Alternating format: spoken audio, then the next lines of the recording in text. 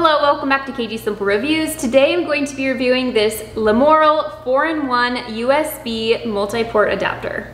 I'm glad that this came because right now we only have two USB ports in our computer and we're always finding that we need way more than two. And so this is one that you can easily connect to your computer and just use all these extra USB ports. I feel like this would be perfect if you have a USB mouse, keyboard, wireless headphones, any of those things. I feel like that would be really important to have something like this.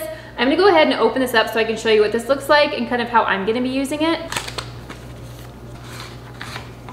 Okay, so this is everything that it comes with. So you can see it just has the one USB cable to plug into our computer, for example, on this end, and then you have your four USB ports on this end. So I'm gonna show you how we are going to use this with the laptop.